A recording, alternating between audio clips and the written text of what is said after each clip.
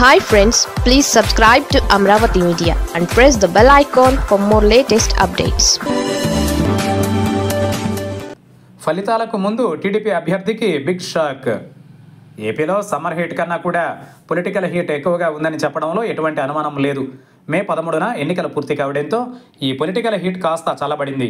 అయితే అదే రీతిలో అందరూ జూన్ నాలుగవ తేదీ కోసం ఎంతగానో ఎదురు చూస్తున్నారు ఈ ఎన్నికలలో ఎవరు విజయం సాధిస్తారా అని తెలుగు రాష్ట్ర ప్రజలంతా కూడా ఆతృతగా ఎదురు చూస్తున్నారు అయితే పోలింగ్ తరువాత ఓటర్ల నాడి ఎలా ఉందనే దానిపై రాజకీయ నాయకులకు అంతు చిక్కడం లేదు. ఏ పార్టీ అధికారంలోకి రాబోతోంది అనే విషయంలో సరైన క్లారిటీ రావడం లేదు.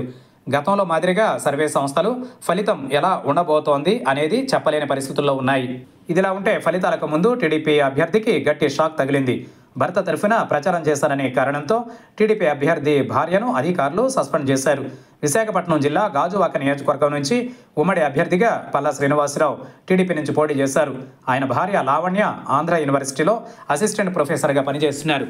పల్లా శ్రీనివాసరావుకు మద్దతుగా ఆయన భార్య లావణ్య ఎన్నికల ప్రచారం చేశారు అనే అంశాన్ని పరిగణలోనికి తీసుకుని అసిస్టెంట్ ప్రొఫెసర్ ఉద్యోగం నుంచి ఆమెను సస్పెండ్ చేశారు.